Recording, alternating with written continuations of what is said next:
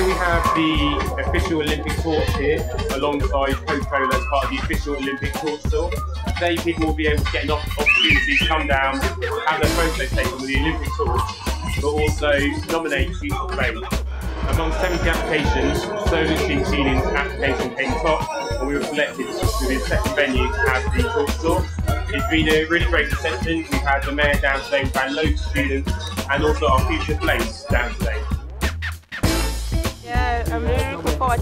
Forward to the Olympic, especially I'm originally from Africa and these things have never happened before, so I'm really, really excited. Like, Yeah, really exciting. We had a big bunch of us from the Christian Union come and uh, take a once in a lifetime opportunity. I think it's really good. I mean, I'm really enjoying it, and it's just a great experience.